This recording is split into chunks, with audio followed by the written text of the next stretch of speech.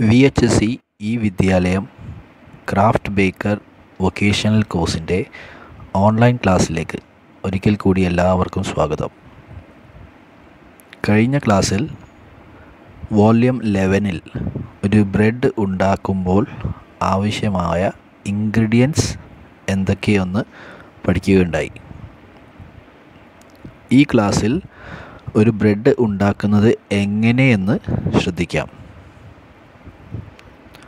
The various steps in bread making ഇതിൽ ആദ്യം number one scaling scaling എന്നാൽ ഇതിൽ ഉപയോഗിക്കുന്ന ഇൻഗ്രീഡിയൻസിനെ നമ്മൾ കറക്റ്റ് വെയിറ്റ് ചെയ്ത് തൂക്കി നോക്കി റെസിപ്പി റെഡിയാക്കുക അതാണ് സ്കെയിലിങ്ങിൽ ഉദ്ദേശിച്ചത്. നമുക്ക് ഡ്രൈ ആയിട്ട് കഴിഞ്ഞ ക്ലാസ്സിൽ പഠിച്ചു. ഫ്ലോർ ഈസ്റ്റ് സാൾട്ട് ഷുഗർ എന്നീ ചേരുവകൾ നമുക്ക് ബ്രെഡിൽ ആവശ്യമുണ്ട്. വെറ്റ് ആയിട്ടുള്ള ചേരുവകൾ മിൽക്ക് അല്ലെങ്കിൽ വാട്ടർ എഗ്ഗ് ഓയിൽ ഒക്കെ നമ്മൾ ബ്രെഡിൽ ഉപയോഗിക്കും. ഇതൊക്കെ കറക്റ്റ് തൂക്കത്തിൽ നമ്മൾ റെഡിയാക്കി വെക്കുക. അതാണ് ഫസ്റ്റ് വൺ സ്കെയിലിംഗ്. അടുത്തത് രണ്ടാമതായി ഡോ മേക്കിംഗ്. ബ്രെഡിലേക്ക് ആവശ്യമുള്ള ചേരുവകൾ മിക്സ് ചെയ്ത് മാവ് രൂപത്തിലാക്കുന്ന പ്രോസസ്സിനെയാണ് ഡോ മേക്കിംഗ് എന്ന് പറയുന്നത്. ഇവിടെ രണ്ട് തരത്തിൽ നമുക്ക് ഡോ റെഡിയാക്കാം. ഒന്ന് സ്ട്രെയിറ്റ് ഡോ മെത്തേഡും രണ്ട് സ്പോഞ്ച് ഡോ മെത്തേഡും. സ്ട്രെയിറ്റ് ഡോ മെത്തേഡ് അഥവാ ഡയറക്റ്റ് ഡോ മെത്തേഡ് എന്ന് പറഞ്ഞാൽ ബ്രെഡിന് ആവശ്യമുള്ള ഇൻഗ്രീഡിയൻസ് എല്ലാത്തിനെയും ഒരുമിച്ച് മിക്സ് ചെയ്ത് റെഡിയാക്കി ഫെർമെന്റ് ചെയ്യാനും പ്രൂഫ് ചെയ്യാനും എടുത്ത് വെക്കുന്ന ഒരു പ്രൊസീജിയറാണ് സ്ട്രെയിറ്റ് ഡോ മെത്തേഡ്. എല്ലാ ഇൻഗ്രീഡിയൻസിനെയും ഒരുമിച്ച് മിക്സ് ചെയ്യുക. ഇത് ചെറിയ സ്ഥാപനങ്ങളിൽ അല്ലെങ്കിൽ വീടുകളിൽ യൂസ് ചെയ്യുന്ന ഒരു മിക്സിംഗ് മെത്തേഡാണ്. ഇതിൽ ഷോർട്ടനിങ് അഥവാ ഫാറ്റ് മാത്രം കുറച്ച് കഴിഞ്ഞ് അതിലേക്ക് മിക്സ് ചെയ്യുന്ന പ്രോസസ്സ് ആണ്. സ്ട്രെയിറ്റ് ഡോ മെത്തേഡ് ഇത് ഏകദേശം നമ്മൾ രണ്ട് മണിക്കൂർ ഫെർമെന്റ് ചെയ്യാൻ എടുത്തു വെക്കും. രണ്ട് മൂന്ന് മണിക്കൂർ ഫെർമെന്റ് ചെയ്യാൻ എടുത്തു വെക്കും. മിക്സ് ചെയ്തതിന് ശേഷം. രണ്ടാമതായി സ്പോഞ്ച് ഡോ മെത്തേഡ് ഇത് ടു സ്റ്റെപ്പ് മെത്തേഡ് എന്നും പറയും. കാരണം ഇവിടെ ബ്രെഡിന് യൂസ് ചെയ്യാനുള്ള ഇൻഗ്രീഡിയൻസിനെ നമ്മൾ രണ്ട് പോർഷനാക്കി മാറ്റും. അതിൽ ഈസ്റ്റ് മുഴുവനായിട്ടും ഷുഗർ ഫ്ലോർ പകുതിയും എടുത്ത് ഒരു മിക്സ് ചെയ്തൊരു ബാറ്റർ രൂപത്തിൽ ഉണ്ടാക്കും. എന്നിട്ട് അത് ഫെർമെന്റ് ചെയ്യാൻ എടുത്തു വെക്കും.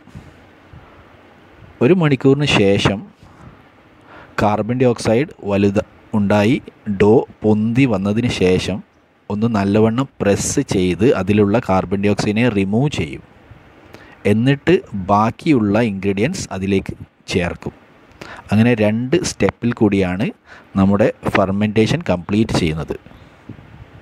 ഇത് ഏകദേശം ആറ് മണിക്കൂർ നീണ്ടു നിൽക്കുന്ന പ്രോസസ്സ് ആണ്.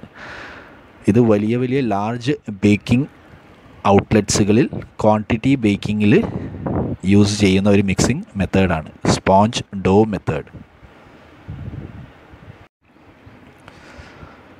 മിക്സ് ചെയ്ത മാവിനെ കുറച്ചു നേരം പൊന്തുവാൻ വേണ്ടി എടുത്ത് വെക്കണം. ഈ ഒരു സമയത്തിന് പറയുന്നതാണ് third step raising the dough ഈ സമയം ടെമ്പറേച്ചർ ഏകദേശം എൺപത് എൺപത്തഞ്ച് ഡിഗ്രി ഫാരൻ ഹീറ്റ് ഉണ്ടായിരിക്കണം ആ റൂമിൽ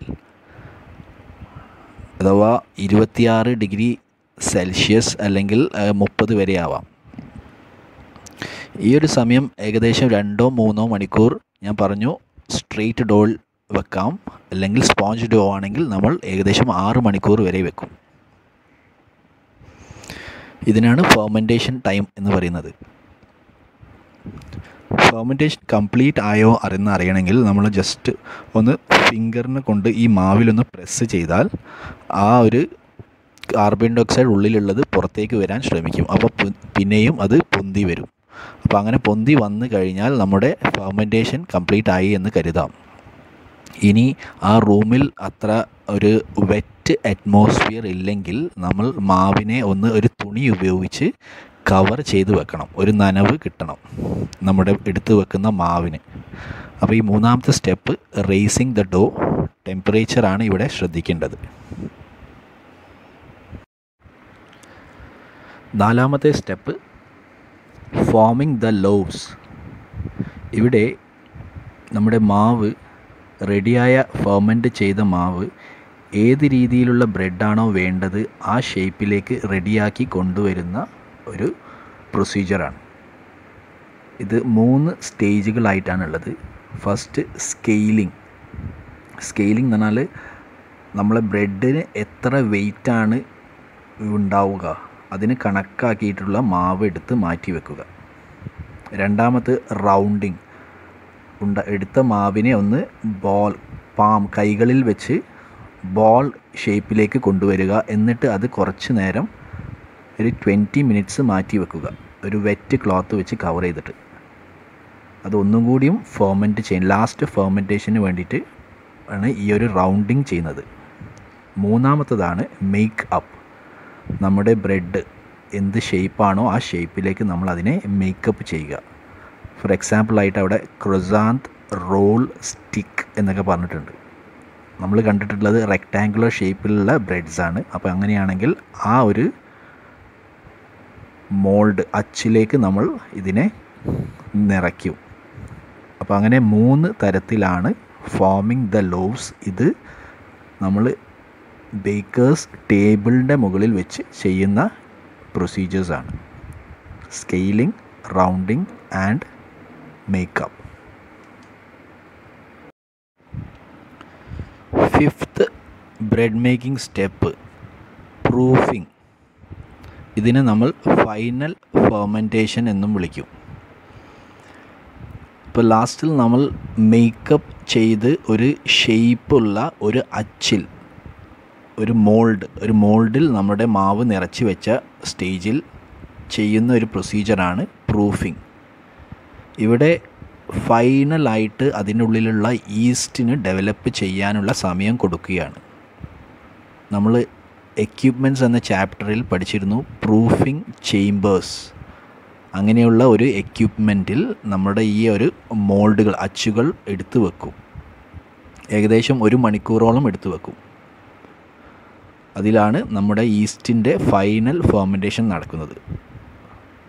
ഫുള്ളി എന്താണോ ആ ബ്രെഡിന് പൊന്തി വളരാനുള്ള ആ സമയം കൊടുക്കുന്നതിന് പറയുന്നതാണ് പ്രൂഫിംഗ് സിക്സ്ത് വൺ അല്ല fifth one sixth one washing.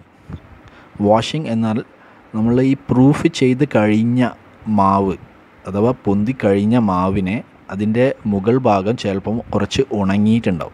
അപ്പോൾ അതിനെ ജസ്റ്റ് ഒന്ന് ബ്രഷ് ചെയ്തോ ബ്രഷ് ഉപയോഗിച്ച് ഒന്നുകിൽ വെള്ളം അതിന്റെ മുകളിൽ ബ്രഷ് ചെയ്യും. അങ്ങനെ കിട്ടുന്ന ബ്രെഡ്സിനെ നമ്മൾ ഹാർഡ് ബ്രെഡ്സ് എന്ന് പറയും. കുറച്ച് ഉറപ്പുള്ള ബ്രെഡ്സ് ചിലപ്പോൾ നമ്മൾ അതിന്റെ മുകളിൽ സ്പ്രെഡ് ചെയ്യുന്നത് മിൽക്ക് അല്ലെങ്കിൽ എഗ്ഗൊക്കെ സ്പ്രെഡ് ചെയ്യും. അങ്ങനെ നമുക്ക് സോഫ്റ്റ് ആൻഡ് റിച്ച് ബ്രെഡ്സ് കിട്ടും. സ്വീറ്റ് ബ്രെഡ്സ് വേണമെങ്കിൽ നമ്മൾ അതിന്റെ മുകളിൽ ഷുഗർ സിറപ്പോ ഹണി തേൻ അതിന്റെ മുകളിൽ സ്പ്രെഡ് ചെയ്യും. അപ്പോൾ സ്വീറ്റ് ബ്രെഡ്സ് കിട്ടും. അമ്മ വാഷിംഗ് എന്ത് ഉപയോഗിച്ച് ചെയ്യുന്നോ അതിന് അനുസരിച്ചുള്ള ബ്രെഡ്സ് നമുക്ക് കിട്ടും. സിക്സ്ത് വൺ വാഷിംഗ് ആണ്.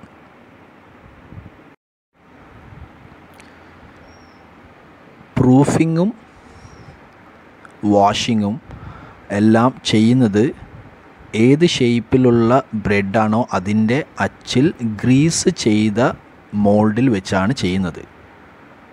അതിനുശേഷം അത് അധികം ഡിസ്റ്റേബ് ചെയ്യാതെ ഷെയ്ക്ക് ചെയ്യാതെ ഈ ട്രേസ് അടുത്ത സ്റ്റെപ്പായ ബേക്കിങ്ങിലേക്കാണ് പോകേണ്ടത്. നമ്മൾ പഠിച്ചു ബേക്ക് ചെയ്യുന്നത് അവൻ എന്ന് പറഞ്ഞ എക്യുപ്മെന്റിലാണ് ഈ അവൻ ഓൾറെഡി ഹീറ്റ് ചെയ്ത് റെഡിയാക്കി വെക്കണം. നമ്മുടെ ട്രേ അതിന്റെ ഉള്ളിലേക്ക് കയറ്റുന്നതിന് മുന്നേ. ഒരു average bread making temperature two zero five degree centigrade അഥവാ ഫോർ ഹൺഡ്രഡ് ഡിഗ്രി ഫാരൻഹീറ്റ് ആണ്. ഫോർ ട്വന്റി മിനിറ്റ്സ് ഇതാണ് ബേക്കിംഗ് ടെമ്പറേച്ചർ വ്യത്യസ്തമായ ബ്രെഡുകൾക്ക് സമയത്തിലും ടെമ്പറേച്ചറിലും കുറച്ച് കുറച്ച് മാറ്റങ്ങളുണ്ടാവാം നമ്മളുടെ ബ്ലഡ് ലാർജ് ബ്രെഡ്സ് ആണെങ്കിൽ കുറച്ച് അധികം സമയം ടെമ്പറേച്ചർ കുറച്ച് വെച്ച് നമുക്ക് ബേക്ക് ചെയ്യാം.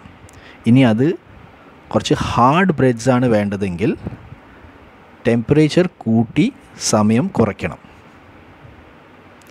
ശ്രദ്ധിക്കേണ്ടത് ബേക്ക് ചെയ്യുന്ന ഈ ഇരുപത് മിനിറ്റ് സമയത്തിൽ അനാവശ്യമായി നമ്മൾ ഓവന്റെ ഡോറ് തുറന്ന് അത് കറക്റ്റ് ബേക്ക് ആയിട്ടുണ്ടോ എന്ന് ചെക്ക് ചെയ്ത് അതിനെ ഡിസ്റ്റേബ് ചെയ്യരുത്. അതിന്റെ ഉള്ളിലുള്ള ടെമ്പറേച്ചറിനെ ഡിസ്റ്റേബ് ചെയ്യരുത്. Only after twenty minutes you can check it is baked or not അതിന് ജസ്റ്റ് ഒരു നീഡിൽ അതിന്റെ ഉള്ളിലേക്ക് ഇറക്കി വെച്ച് ഒന്ന് പിന്ന് ചെയ്ത് നോക്കിയാൽ മതി. അപ്പോൾ അതിന്റെ ഉള്ളിലുള്ള മാവ് കുക്കായിട്ടുണ്ടോ എന്ന് അറിയാൻ പറ്റും. അങ്ങനെയാണ് ബേക്കിംഗ് കംപ്ലീറ്റ് ആയിട്ടുണ്ടോ എന്ന് ചെക്ക് ചെയ്യൽ seventh step and the final is baking baking complete ആയാൽ ഇനി അതിനെ നമ്മൾ ഒന്ന് ഓവണിൽ നിന്ന് റിമൂവ് ചെയ്ത് അതിനെ തണുപ്പിക്കണം. ഈ ഒരു സ്റ്റെപ്പാണ് seventh one cooling. Bread loaves are kept on racks to cool for at least two hours ഇത് പാക്ക് ചെയ്യുന്നതിന് മുന്നേ ഈ ഒരു സ്റ്റെപ്പ് കംപ്ലീറ്റ് ചെയ്തിരിക്കണം. കൂളിംഗ് അതിന് ട്രേ റാക്സ് അല്ലെങ്കിൽ ബ്രെഡ് റാക്സുകൾ ഉണ്ടാവും. കൂൾ ചെയ്ത് കഴിഞ്ഞാൽ പിന്നെ നമുക്കതിനെ സ്റ്റോർ ചെയ്യാം. എട്ടാമത്തത് സ്റ്റോറേജാണ് അപ്പോൾ ഇത് പാക്കിംഗ് ചെയ്ത് കഴിഞ്ഞാൽ ശ്രദ്ധിക്കേണ്ടത് ഇത് റെഫ്രിജറേറ്റഡ് ടെമ്പറേച്ചറിൽ ബ്രെഡ്സിനെ ഒരിക്കലും സ്റ്റോർ ചെയ്യാൻ പാടില്ല എന്നുള്ളതാണ്. For example zero to ten degree സെന്റിഗ്രേഡിൽ breads പെട്ടെന്ന് ചീത്തയാവും. അതുകൊണ്ട് റെഫ്രിജറേറ്റഡ് ടെമ്പറേച്ചർ ഒഴിവാക്കണം ബ്രെഡ്സ് സ്റ്റോർ ചെയ്യുമ്പോൾ. അതാണ് എട്ടാമത്തത്. അതോടെ ബ്രെഡ് മേക്കിംഗ് സ്റ്റെപ്പ് ഫിനിഷ് ആവും. അപ്പോൾ ഏകദേശം എയ്റ്റ് സ്റ്റെപ്സ് ഉണ്ട് ബ്രെഡ് മേക്കിങ്ങിന് ഇതെല്ലാവരും ഒന്ന് വൃത്തിയായി നോട്ട്സിലേക്ക് ഒന്ന് ഫിനിഷ് ചെയ്ത് എഴുതി വെക്കുക. എന്തെങ്കിലും സംശയം ഉണ്ടെങ്കിൽ നിങ്ങൾക്ക് നിങ്ങളുടെ വൊക്കേഷണൽ അധ്യാപകനോട് ചോദിച്ച് മനസ്സിലാക്കാം. ഇത്രയും നേരം ക്ലാസ്സുകൾ കേട്ട എല്ലാ വിദ്യാർത്ഥികൾക്കും നന്ദി.